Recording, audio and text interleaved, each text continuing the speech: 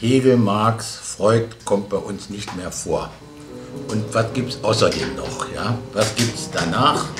Aber ich finde, dass der Verlag eine eigene, ja, eine eigene Politik machen kann. Und, und das haben wir ja auch gezeigt, dass das möglich ist, auch mit, mit geringsten Mitteln. Ja? Und mit ganz, wir waren einfach über 20 Jahre immer nur zu zweit. Ja? Und da haben wir ja auch irgendwie gezeigt, dass man da was auf die Beine stellen kann und auch eine eigene, eine eigene Position und auch eine eigene Richtung sozusagen irgendwie in Gang bringen kann. Ja. Ich selber bin, komme eigentlich von Adorno Benjamin, ja. Also, aber das hat sich ja irgendwie nach dem Tode Adornos hat sich ja irgendwie nicht so richtig ergeben, also in meinem Sinne jedenfalls, und war dann sehr enttäuscht von, also schon 68 von Habermas und dieser, diesen Frankfurtern und von daher haben wir eben erstmal versucht, über die italienische Linke Texte zu publizieren und als ich das dann auch das ist dann auch in 77 zum Ende gekommen, also mit, mit der Verhaftung von Negri, mit, dem, mit der, also sozusagen die ganze äh, autonome Bewegung, ja, ja, der da in Frankreich, der da ist ganz lange im Gefängnis. Also da kam dann eigentlich auch nichts mehr aus Italien. Und äh, ja, und dann haben wir eben gesehen, dass, wir hatten dann natürlich auch diese entsprechenden Zeitungen gelesen und haben wir gesehen, dass dann interessante Sachen in Frankreich in Gange sind die erstmal uns politisch interessiert haben. Ja? Und wir haben dann natürlich auch Foucault, weiß ich, alles gelesen. Wir haben auch, muss man auch sagen, wir haben im Verlag immer eine, eine, Lektüregruppe gemacht. Ja? Wir haben sozusagen seit, seit, äh, ja, so seit 76, 77 haben wir uns einmal eine Woche getroffen, meistens so zehn Leute und haben dann gelesen. Wir haben also jahrelang den Anti-Ödipus gelesen, haben uns das immer gegenseitig vorgelesen ja. und jeder hat so aus seinem aus seinem Bildungskenntnisbereich was dazu gesagt, aber ohne, ohne Referate, ohne Protokolle, sondern einfach sozusagen uns immer getroffen. Hinterher sind wir dann auch irgendwo was trinken gegangen. Auf der anderen Seite haben wir dann auch sozusagen äh, die Leute, die Autoren in Paris immer wieder besucht. Wir haben dann auch natürlich alles gelesen. Wir haben nicht irgendwie äh, sind da nicht Berühmtheiten hinterhergelaufen, sondern wir haben immer sozusagen mit den Autoren als Kenner deren, von deren Werken geredet. Ja? Also wir haben immer sozusagen auch, wenn wir Lyotard getroffen haben, haben wir ihm von Sachen, von Texten erzählt, die er schon vergessen hatte und von denen er ja nicht mehr wusste, dass er die überhaupt geschrieben hat oder so. Das heißt, wir, waren, die, die, wir haben immer von uns ein Feedback gekriegt und das hat sie natürlich, das war dann auch verbindlich, verbindend und dadurch äh, haben sich eben so intensive freundschaftliche Beziehungen ergeben, dass man dann, wenn wir in Paris waren, immer zum Essen eingeladen wurden oder. Sie hatten auch gerade gesprochen, äh, nochmal zu Foucault, dass Sie sich in Gruppen getroffen haben, um über das Werk zu sprechen. Worum ja. es bei diesem Treffen? Nee, ich sage, wir haben diese Lesegruppe gehabt, diese ja, genau. Lesegruppe. Da haben wir dann sozusagen immer, ja, wir lesen sozusagen Seite für Seite, das dauert ja lang und das ist auch schwierig, an die Ödipus zu lesen und äh, darüber haben sich dann Freundschaften bei uns entwickelt und die zweite Gruppe, die bestand eben, so weiß ich, aus Nils Röller und Henning Schmidtgen und das waren dann alle schon irgendwie graduierte Figuren, ja die sich dann, mit denen wir uns getroffen haben, auch promo, die schon promoviert hatten oder Spezies waren. Das war die zweite Gruppe. Die erste Gruppe, das waren welche, die, so wie wir selber auch eben, also ich selber habe ja, als ich Foucault gelesen habe, ich kannte Roland Barthes, das war der allererste, den ich gelesen habe. Den habe ich schon in 60, ganz früh in 60er Jahren gelesen, fast in 50er noch, ja. Also ich habe, also als ich Foucault gelesen habe oder auch Roland Barthes, da hatte ich kein Saussure gelesen, kein Levi Strauss. Also wir sind, so wie der Deleuze das ja auch fordert, mitten hineingesprungen. Ja? Wir haben sozusagen sofort das gelesen, was uns interessiert hat und haben dann sozusagen das auch als eine Art Handwerkskiste benutzt, sind natürlich aber im Laufe der Jahre zu, zu Kennern und zu Spezies, also wenn es um irgendwelche Zitate geht oder irgendwelche Stellen, das geht dann ruckzuck, dass, man die auch, dass wir die auch finden, weil wir eben diese, dieses Werk sozusagen in allen Facetten kennen. Und ich habe mich mit Foucault also versucht, irgendwie möglichst alles irgendwie in die Hände zu kriegen und auch zu lesen, weil, weil auch die Beschäftigung auch mit Deleuze oder auch zum Beispiel mit Cage ist interessant, wenn man so einem, einem Autor also bis in die letzten Finessen auch biografisch irgendwie folgt. Also diese Kleinigkeiten, was dann alles so zu, äh, zum Vorschein kommt, das ist immer, immer interessant bei, bei richtig guten Leuten. Ja, bei langweiligen oder nicht so guten Leuten ist es natürlich auch entsprechend nicht so interessant, aber von daher hat man natürlich auch mit ein Verhältnis dann auch von Person und Werk. Ja, aber ich meine, der Punkt ist, man kann sich eben auch nicht mehr, man muss eine Auswahl treffen. Ja, und wir haben sozusagen gesagt, in der Musik ist der Cage für uns wichtig und das ist auch ein netter Typ und irgendwie haben uns dann sozusagen voll auf den geschmissen, sind zu diversen Konzerten gefahren, bis nach Kanada zum Teil, zu Festivals und haben uns deshalb aber meinetwegen über äh, Stockhausen oder äh, so andere Musiker kann ich dann eben nicht sagen. Ja, die, die habe ich, die sind, also es ist eine rein, wie soll ich sagen, eine individuelle oder auch persönliche Wahl, die man getroffen hat. Und es ist eben Glückssache auch, ob man die richtigen Leute sich da ausguckt oder nicht. Oder ob das Eintagsfliegen sind. Und ich hatte bisher eigentlich immer Glück, dass, dass die Leute, mit denen wir uns beschäftigt haben, die waren, haben dann irgendwie permanent auch produziert und viel gemacht, was dann natürlich auch für den Verlag bedeutet, dass man dem zum Teil gar nicht so richtig folgen konnte. Wir haben uns dann mit Ausstellungen beschäftigt, haben Harald Seemann publiziert, der hatte natürlich auch die Dokumente und Junggesellenmaschinen und der hat in der ganzen Welt nach bis zu seinem Tode im vorigen Jahr äh, also permanent Ausstellungen gemacht und wir konnten natürlich dann auch nicht mehr zu allen Ausstellungen hinfahren und so. Also es hat sich, wir haben uns dann auch ein bisschen zu sehr mit zu viel Riesen da unter an, ange, äh, angefreundet. Bei Müller genauso, ja? ja. Das ist auch wahnsinnig viel, was da am Ende zustande gekommen ist und aber wir haben auf der einen Seite sozusagen diese Sachen weiter, weiter geführt und auch weiter gepflegt und haben daneben natürlich dann äh, auf einmal so die äh, Kognitionswissenschaften oder man könnte auch sagen Systemtheorie ja. oder sowas. Ja, also wir haben uns dann mit, mit Luhmann beschäftigt, haben, haben ein Buch von dem Dirk Becker angeboten gekriegt, was wir dann auch schnell gemacht haben, sind wir zum Geburtstag gefahren. Management? Nee, nee, dieses äh, Archimedes und wir, mhm. ja. Und dann haben wir den Luhmann kennengelernt und über den Luhmann dann den Heinz von Förster, den hatten wir vorher schon mal nach, nach äh, Linz eingeladen. Heinz von Förster, den haben wir dann auch in den USA besucht. Der war in Berlin dann öfters bei uns. dann hat sich Glenville, Becker, dann hat sich sozusagen so eine systemtheoretische Ecke da, die sich aber durchaus mit dem, was wir vorher gemacht haben, überschnitten hat. Und dann ist so, das ist sozusagen so eine Erweiterung. Ja, wir haben auf der einen Seite das weitergemacht, haben auf der anderen Seite Richtung Systemtheorie so, so, so was angebaut. Dann war, ist außerdem, was wir auch immer gemacht haben, so eine bestimmte Berliner Szene, ja. Also angefangen hier mit genialen Dilettanten, Blixer Bargeld, aber dann auch Jakob Taubes, Oswald Wiener, bis hin zu Reinhard Götz, Westbam, also sozusagen so eine äh, Popkultur oder ja, Taubes ist ja nun nicht unbedingt Popkultur, aber oder Kippenberger haben wir auch sehr früh gemacht, ja. Also wir hatten auch immer sozusagen so eine Verankerung in so einer, in der Berliner Szene, würde ich mal sagen. Für, für Foucault war für uns wichtig, dass er den Begriff der Kunst äh, anders aufgefasst hat. Er hat zum Beispiel von einer Kunst des Strafens und einer Technik des Überwachens geredet.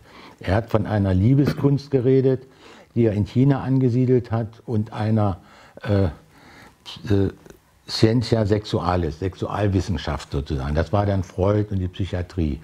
Dann, und, wir haben, und dann gibt es natürlich auch die Kunst des Krieges bei Foucault und äh, na, ich weiß nicht, was so als Gegenteil. Also der hat sozusagen immer sozusagen einen älteren Kunstbegriff und einen gegenwärtigen miteinander konfrontiert. Und das hat uns eigentlich interessiert. Ja? Also bis hin eben zur, zur dem, was er Lebenskunst nachher genannt hat. Also er hat sozusagen an so einem er hat versucht, einen umfassenden Kunstbegriff. Und wir uns interessiert, und außerdem hat er sich natürlich sein ganzes Leben lang, also ganz früh mit Hölderlin und mit, mit Sartre und mit so französischen libertinären Denkern beschäftigt. Und also er hat permanent, dann hat er mit dem Nouveau Roman diskutiert, mit der Gruppe Tel Quel. Dann hat er, war er mit René Char, den René Char hat er immer wieder zitiert. Der Schar spukt ja auch bis bei Cage, bei Boulez, überall auch in der Musik rum, ja. Und also in der Malerei hat er sich eben mit, mit, mit, mit äh, äh, na wie heißt er? Ach, mit, nee, nee, mit, mit dem, mit dem, mit dem Spanier da, mit dem Meninas. Also mit, mit dem. Mhm. Äh, ich weiß, wen Sie meinen. Ich mal Ich sage mal Cervantes, aber ist Quatsch. Das ist natürlich nicht Cervantes, sondern. Aber lassen wir jetzt. Ist, ist, äh, ist nicht so wichtig. Also hat und Magritte und er hat sich also auch in Magritte, da geht es ja auch um Kandinsky, Klee Goya und so weiter. Taucht Goya taucht bei ihm natürlich in der Geschichte des Wahnsinns ganz viel auf. Ich meine, gut, der, der Foucault war anfangs eben auch sehr jung. Er war äh, in der École Normale auch sehr, sehr durchgedreht oder so. Der hat sich nicht umsonst mit Wahnsinn beschäftigt. Ja? Also der hing auch ganz schön durch. Da waren mehrere Selbstmordversuche und so Geschichten. Ja? Also der ist dieses, da hat sie natürlich alles im Alter dann mehr und mehr gesetzt und ist dann, äh, und das hängt noch zum Teil zusammen mit dem Daniel Defer, der so aus der linksradikalen Ecke ich glaube, Gauche Proletarien oder so kommt, durch den ist er dann in die Politik so hineingezogen worden, auch ein bisschen. Der ist nach wie vor immer noch sehr engagiert. Der hat nach dem Tode Foucaults die Organisation der die Hilfsorganisation für die AIDS-Infizierten irgendwie geleitet in Frankreich. Und der ist immer noch irgendwo auch in dieser, in, in so einer Politikszene immer noch sehr, immer noch irgendwie aktiv, ja. Und über den ist er dann auch sozusagen zu der zu der Arbeit mit den Gefangenen und zu seinem, er hat ja sozusagen immer einerseits ein Buch geschrieben und gleichzeitig hat er sich in dem Milieu oder in der Szene orientiert und hat versucht, da zusammen zu, Zusammenarbeiten zu finden oder auch äh, irgendwie Fuß zu fassen. Also er hat auf der einen Seite Geschichte der Sexualität geschrieben, auf der anderen Seite hat er mit, mit Homosexuellen diskutiert in deren Zeitschriften, aber hat während Überwachen und Strafen eben diese GIP gegründet, Groupe Information Prison, die eigentlich die Funktion hatte, ein, ein Instrument zur Verfügung zu stellen, sodass die Leute im Knast ihre Meinung sagen können und sagen können, was da passiert. Also die, haben, die hat das abgelehnt und das ist der entscheidende Punkt, also politisch auch, er hat es abgelehnt, für die anderen zu sprechen, sondern er hat die anderen sprechen lassen. Also er hat nicht irgendwie, äh, er war nicht Fürsprecher für irgendwelche Leute, denen es dreckig geht oder schlecht geht, sondern er hat äh, Möglichkeiten geschaffen, damit die ihre eigene Situation im Gefängnis zur Sprache bringen können. Das war sein Ansatz. Und das ist, finde ich, nach wie vor. selber äh, angeschaut vor Ort. Also ja, ja, er hat dann Leute getroffen hat. und hat, ja, ja. Aber ich meine, das ist immer noch, finde ich, äh, so ein Ansatz, der, der ganz anders ist als unser 68-Ansatz. Wir sind durch die Straßen gezogen und haben gerufen, was wir wollen, Arbeiterkontrollen. Ja? Und die Arbeiter haben gesagt, wir lassen uns aber nicht kontrollieren. Ja? So war, und der Foucault hat also sozusagen nicht für andere gekämpft, sondern äh, hat denen Möglichkeiten gegeben, die er, er organisiert hat. Ja?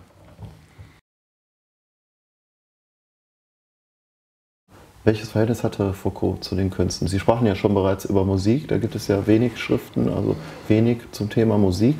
Äh, zu den Künsten gibt es ja mehr.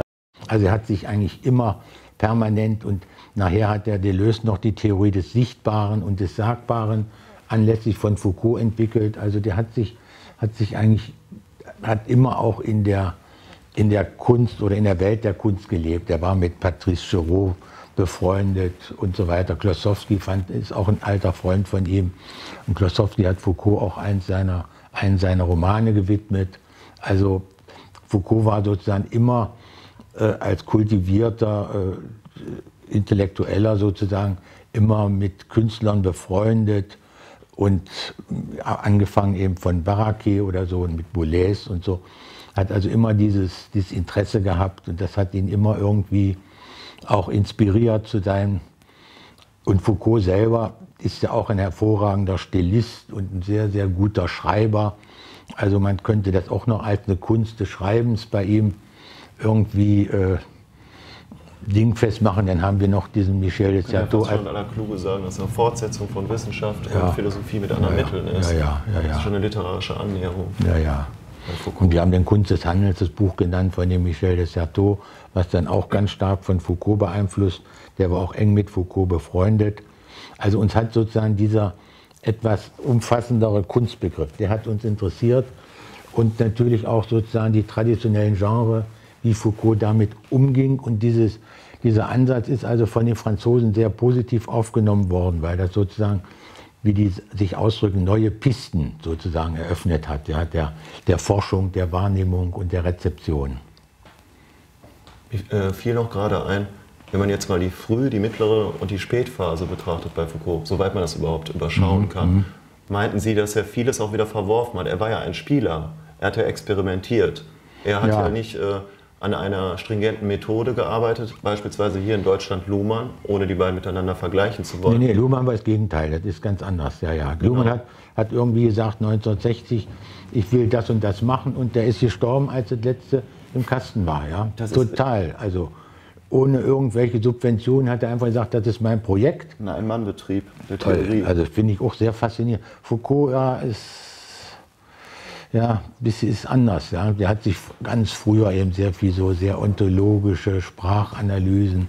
Er wollte mal ganz früh wollte Blanchot sein, das war sozusagen ein großes Vorbild. Also Blanchot, Klossowski, das waren sozusagen immer seine, also seine Lehrmeister. Ja.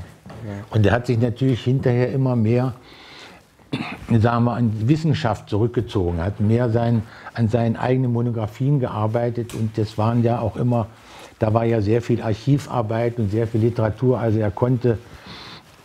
Er ist quasi in die Hermeneutik eingestiegen. Er ist sozusagen über Blanchot und Klossowski ist er erstmal von Hegel und von der Dialektik weggekommen und hat dann sozusagen sein eigenes Ding entwickelt.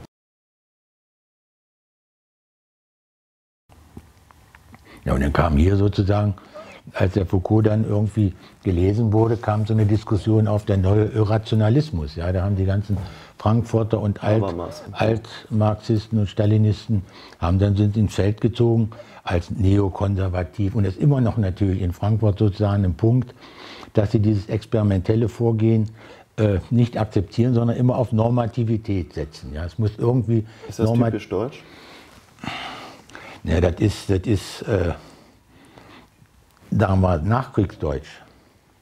Also ich würde sagen, das hängt mit, den, mit der deutschen intellektuellen Situation zusammen, dass die meisten, äh, dass es so eine protestantische Tradition ist. Ja? Also die jüdische Tradition ist weggebrochen, umgebracht und jetzt sind nur noch die Oberlehrer und die Protestanten und die Moralisten irgendwie zugange, ja, innerhalb der Politik. So, also so, das ist so meine Wahrnehmung, ja.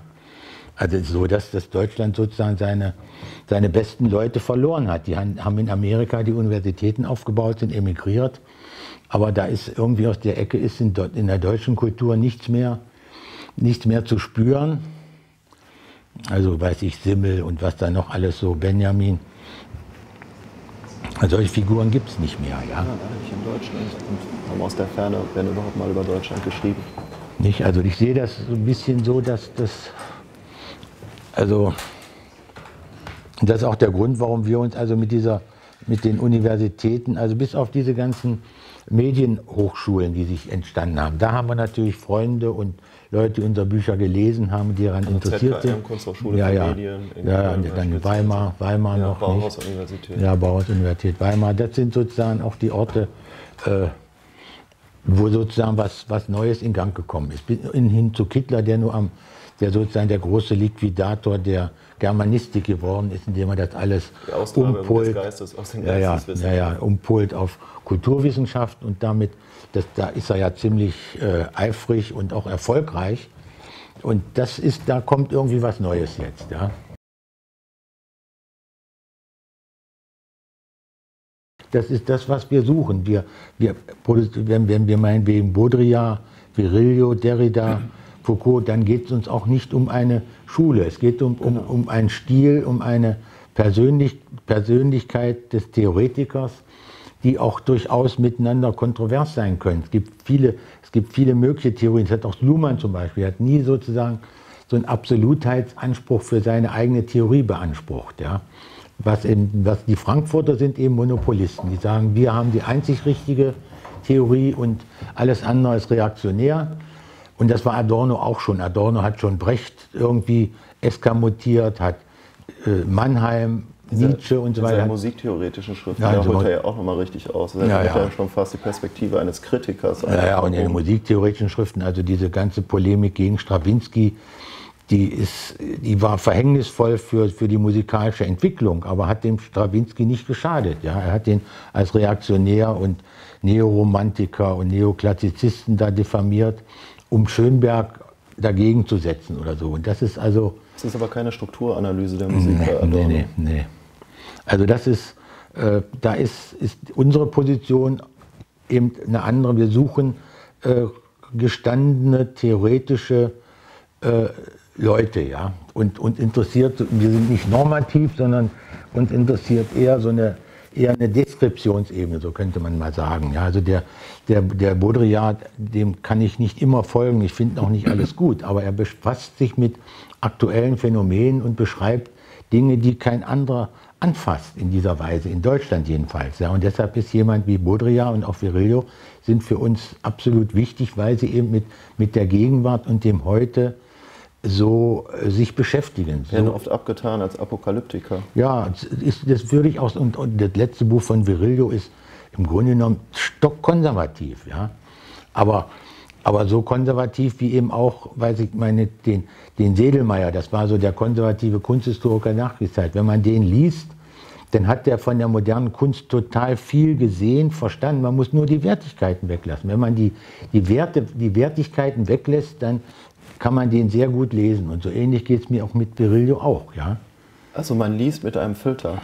Nein, nicht mit Oder? einem Filter. Man, man guckt nur, was er beschreibt und wie er das Material analysiert und ob er nur sagt, das ist ganz furchtbar oder nicht. Dann sage ich ihm, das ist interessant, ja, was da passiert. Und dann habe ich sozusagen einen anderen Zugang zu. Weil er eben Phänomene beschreibt, die andere nicht so beschreiben. Virilio ist, würde ich meinen, eben sehr stark auf so einem Horrortrip oder könnte auch sagen, Paranoia Baudrillard auch ein bisschen, ja, also wir haben den immer so ein bisschen für... Wenn Sie sagen, also, dass Sie ein bisschen paranoid sind? Ja, also der Berillo auf jeden Fall, ja. Und, äh, aber das Beryl, äh, äh, Paranoia ist ein gutes Erkenntnismedium, ja. Also darüber merkt man ja, wenn man selber mal auf so einem Eifersuchtstrip ist, was man da alles sieht und, und wahrnimmt, ja. Also das finde ich schon, dass das, dass das was ergibt. Das Thema des Besessenen. Darum fand, fanden wir auch den Titel Museum der Obsession so gut. Also wenn man von so einer Thematik besessen ist. Der Klossowski war ja auch besessen von, seinen, von, von bestimmten Figuren, von bestimmten Stellungen. Also Hermaphroditen zum Beispiel. Ja, Hermaphroditen. Und hat das sozusagen, das gibt es in den Romanen, das gibt es in der Malerei, das gibt es sogar in Plastiken nachher. Ja? Also er hat sozusagen ganz besessen an einer Thematik und hat dann immer Angst gehabt, dass gleich die Polizei kommt bei seinen Ausstellungen und so. Also das ist eigentlich, das sind auch Künstler. Also alle, ein richtig guter Künstler ist von seinem Material in irgendeiner Weise besessen und der wühlt darin rum und bringt dann immer neue Sachen zum Vorschein. Und das gilt eben doch eigentlich auch, also würde ich sagen, für Denker. Ja.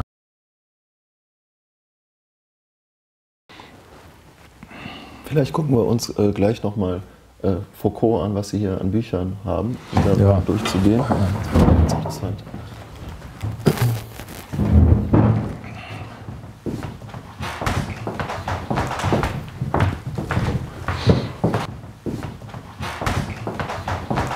Hier, das ist so eine Zeitschrift, wo es da so um Asiengeschichten geht von Foucault, ja.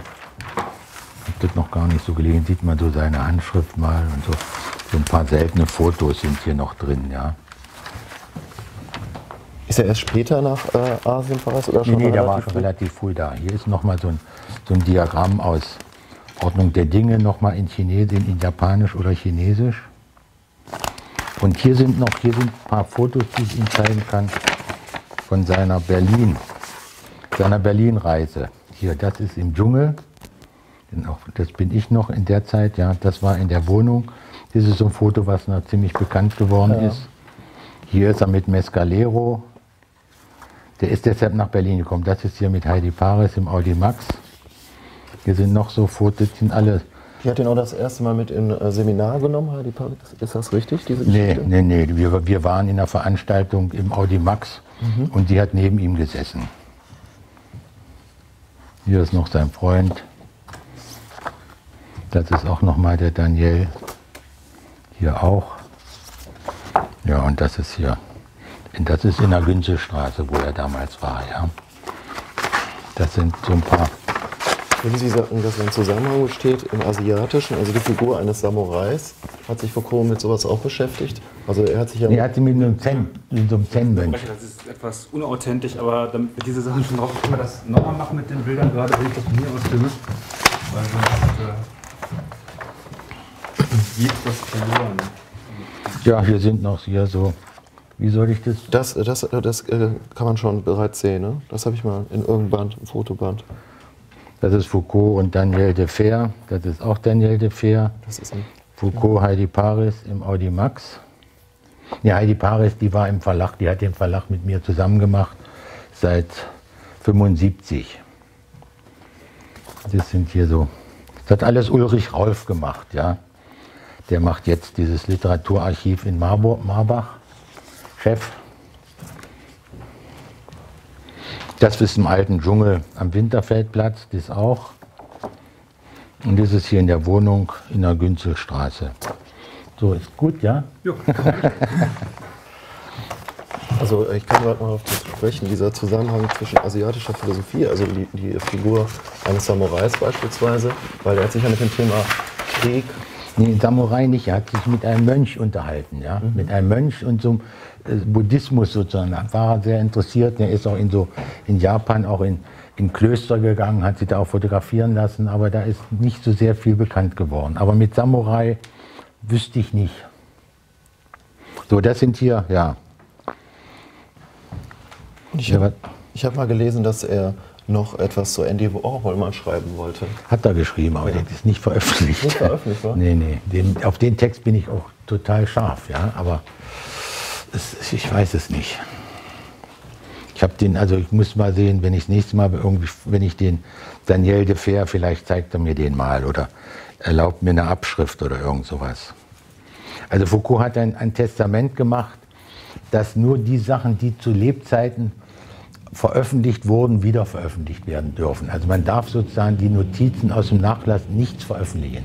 Und dass sozusagen jetzt die Collège de France Vorlesungen veröffentlicht werden, das ist sozusagen eine Ausnahme, die die Familie gestattet hat. Ja. Eigentlich widerspricht das auch dem Testament, aber die haben das doch durchgesetzt, dass diese, diese äh, Vorlesungen, die, wo da, womit Foucault immer sehr großzügig umging, hat jederzeit gesagt, wenn Sie das was veröffentlichen wollen, Sie können das benutzen und so. Der hat da überhaupt kein Copyright beansprucht, war eigentlich immer eigentlich sehr groß. Ich habe Foucault als sehr großzügig eigentlich kennengelernt, ja. Auch ein bisschen zickig manchmal, ja. Ja. Also manchmal hat man ihm was gezeigt, da war er nicht so begeistert. Oder man hat ihm mal Blumen mitgebracht, fand er auch nicht so gut, ja. War ganz schnell wieder verschwunden. Aber ansonsten eigentlich, Können Sie sich daran erinnern, äh, wie er auf Sie gewirkt hat, als Sie ihm das erste Mal begegnet sind? ja, sehr drahtig, ja, sehr drahtig und, und wach und irgendwie, äh, der legt sie dann auf den Teppich und erzählt Terrorismus erstens, zweitens, drittens und er macht so eine kleine Privatvorlesung dann. Ja, Wir haben ihn vielleicht, also wir haben ihn in Berlin zweimal gesehen, einmal drei Tage oder ja, vielleicht drei, vier Tage und einmal zwei Tage. Und in Paris haben wir ihn äh, auch vielleicht so vier, fünf Mal besucht, ja, in seiner Wohnung. Tja, und hier sind sozusagen, ja, hier sind diese ganzen hier, ja, das weiß ich auch nicht. Also das sind, Filmmaterial, das würde mich nur interessieren. Was, was gibt es für ein Filmmaterial zu Foucault? Hier gibt es einerseits, ja, das, das sind so, hier sind sozusagen die, die Fotos von der Ausstellung in Karlsruhe, die sind hier drauf. Da ist sozusagen die Karlsruher Ausstellung nochmal abgelichtet. Das sind die Programme von der Karlsruher Geschichte, die sich dies hier, das hier, ja, Foucault, Foucault und die Künste. Da ist so das ganze Programm nochmal drin.